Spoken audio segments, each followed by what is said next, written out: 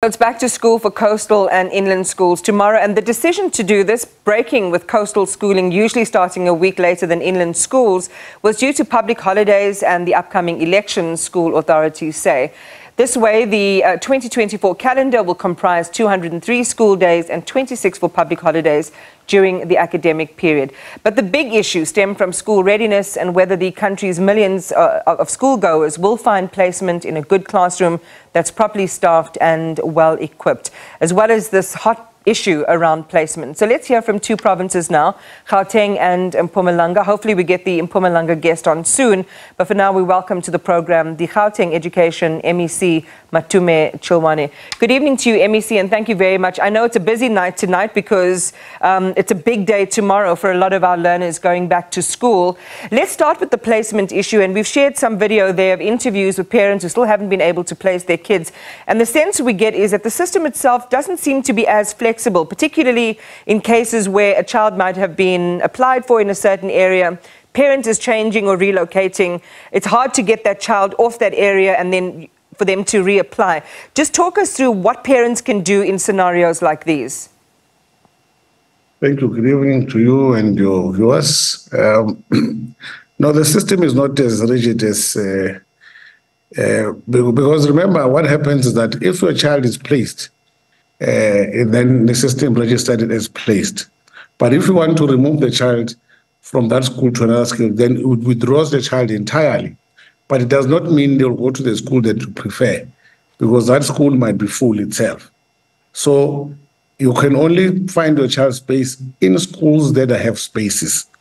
But if those that have full are full school, already full, unfortunately, there's really not much we can do because at the same time we don't want to get our schools to be over extremely overcrowded uh, up until we create enough classroom space in those schools. In that particular area, in, in, that particular example, though, uh, MEC, where you want to change gears or apply somewhere else, um, what, what recourse does a parent have in that scenario? Where they've the relocated for work and, and their child is already on the system, what can they do? No, already those parents, they know they've gone to the schools and then they've gone to the district. They, they've gone to the right places to get intervention in that regard.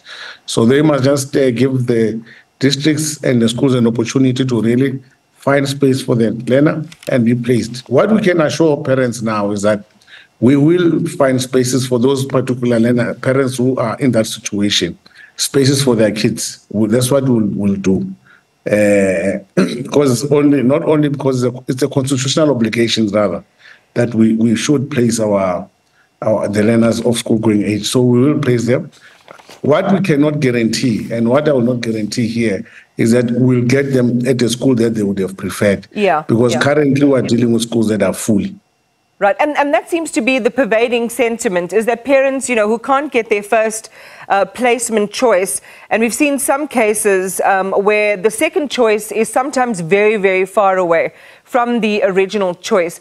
What can be done, uh, MEC, to ensure that even if they can't, and, and, it stands to reason, capacities, you know, breached or maximized, so they have to be re reallocated. What can be done to really work with parents on not having their children placed, you know, in excess of 20 kilometers away from their initial school of choice? One of our viewers was, you know, suggesting something like a directorate of uh, placement, um, you know, for learners. I don't know if the department is considering something like that, a dedicated unit that just focuses on dealing with some of these nuances around learner placement? No, we have a directorate that, that deals with admissions. Um, so that one we have in place. And that's why we're able to deal with such huge numbers and, and majority of it, we're able to ensure that they are satisfied. But with regard to the distance, I, we don't place learners 20 kilometers away from the initial school. What we do is that we look at your application, the schools that you have applied to. If those schools are full, we seek, we find you a school that we, tra- we transfer you to a school closest to the schools that you've applied for. That's what we do. So we, we, we are not irrational when we take a child from uh, the Tembisa and then we place them in Soweto. Right. Or in Suboke. We don't do that. We look at the closest school that we find. And what and furthermore, what we do in such an instance, we also start a process of uh, ensuring that we provide scholar transport. So we began that process of provisioning as to what will be the needs. There's a community, there's not a school here. These are the numbers of learners available. Then we provide scholar transport. All right. Now, I'd love, uh, thank you, MEC. I'd love for our viewers to weigh in on what you've said, that it's not unreasonable and you're not placing kids, you know, in excess of 20 kilometers away and you're laying on transport. We work with one of our colleagues here who described this exact case and perhaps we can connect those details with the office to see if they can help, um, help in a, in a real situation where the parents now almost have to do an about turn from where they're working. They don't have the means for private or scholar transport, and now they're sitting in this conundrum. Let's broaden the picture now and go to Mpumalanga as well. And we're joined by uh, Ch- Chikudu Manyabiane, who is the Chief Director for District Coordination in the province. Share with us, uh, Chikudu, good evening and welcome to the program. What's the picture like in Mpumalanga in terms of availability of classrooms um, and placements for learners?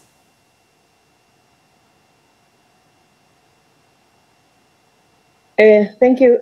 Um, I'm not Chukuru. I'm uh, Lucy Moyane, the head of department.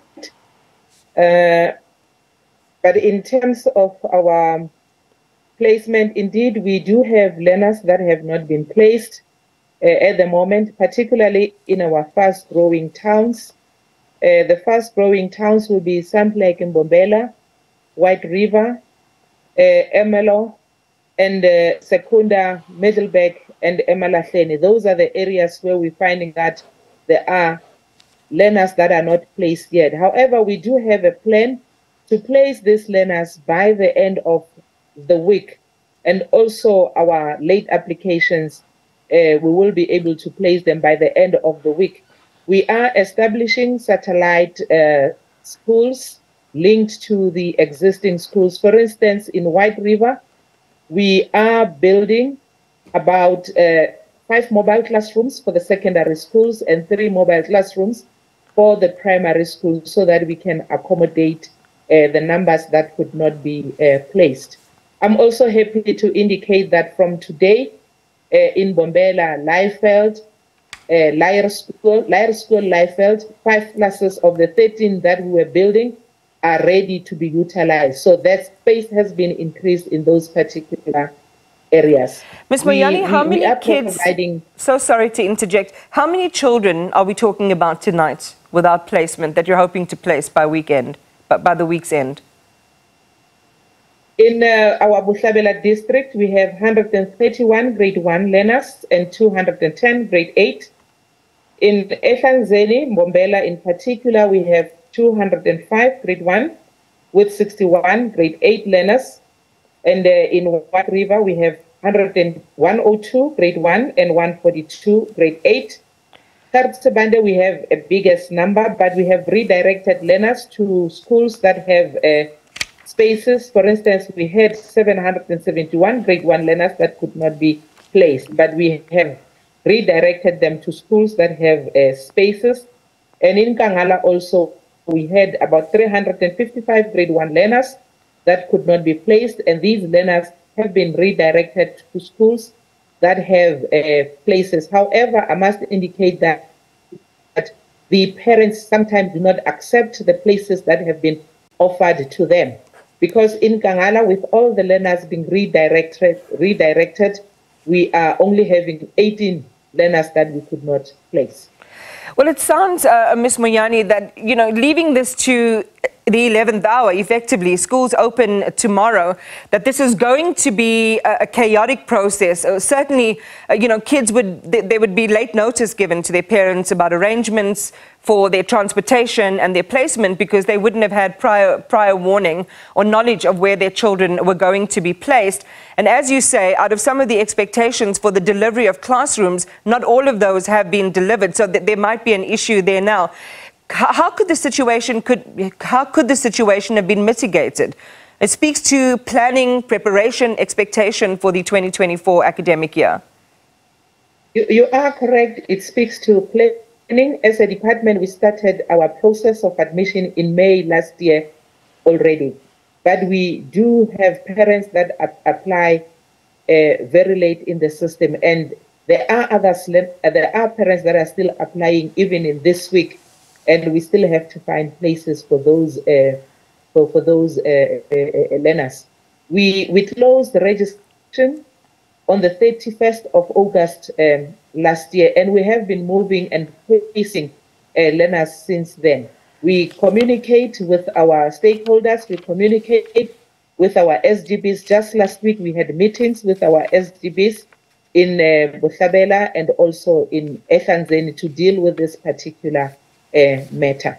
So our belief is that tomorrow will be a smooth transfer because we know that um, we have informed parents uh, accordingly. Yes, there are parents that will still be raising con concerns, but it's not the majority of, of, of parents. And we believe that this challenge will be less than what we experienced in 2023.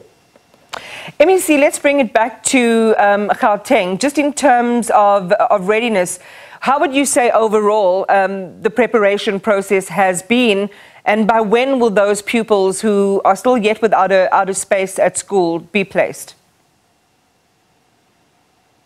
Hmm, in terms of prepare, prepare, what preparedness uh, for the new academic year, no, we, we've got our eye on the bouncing ball. Uh, we are ready with uh, all our schools rather are ready for the new academic year. We don't foresee any challenges at all uh, because we started preparations quite a while ago, uh, and by before end of November we had, we were already ready for the new academic year, and that's albeit knowing that there there will be uh, a growth in our system uh, because it's been happening consistently. That meant that we would prepare.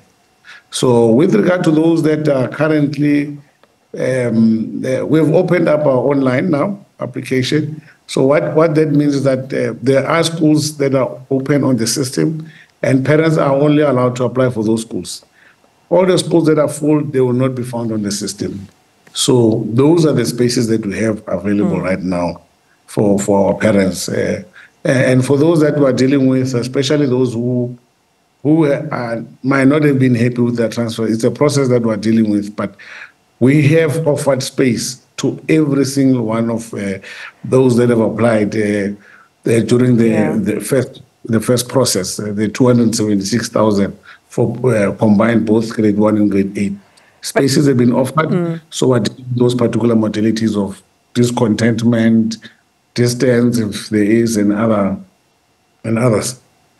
But one of the biggest gripes uh, that comes up often, uh, MEC, and uh, perhaps HOD to you as well, is whether all schools are created equal. I mean, do all of these schools offer, you know, complementary facilities, well-staffed, um, you know, institutions, enough space, non-crowded facilities?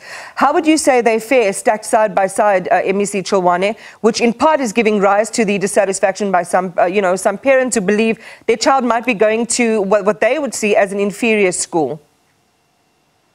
Yeah, look, it's, it's I, I will not uh, look at it from infrastructure wise because some of the schools that parents are rejecting are former Model C schools, uh, and that's largely uh, what what largely because for us, maybe for instance, the leadership of the school, how the school has been run, uh, the general discipline of the learners. Those are some of the things that parents look at before they make a decision on the schools. So it's got nothing to do with the historical disparity of it being in the township or it being in the suburban area. The most in-demand school in our province was a school in the township in Katlehong. Uh, so, so that shows that it's not necessarily the historical uh, uh, advantages and disadvantages that determine the preferences of school, but the performance of the school, and that's what parents look at. You want to take your child to a school that is is good in terms of discipline. There's the performance in the matric pass rate. There's performance in general school sports, etc., cultural activities, extra. So that's what parents look at overall. Uh, and and some schools, majority of our schools, fortunately, uh, okay.